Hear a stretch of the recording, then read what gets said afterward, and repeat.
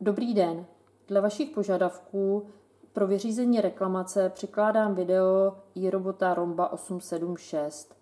Robota jsem dnes 1.2.2019 obdržela z vašeho servisního střediska. Bohužel po zhruba 30 minutách dobíjení robot hlásí stejnou chybu dobíjení.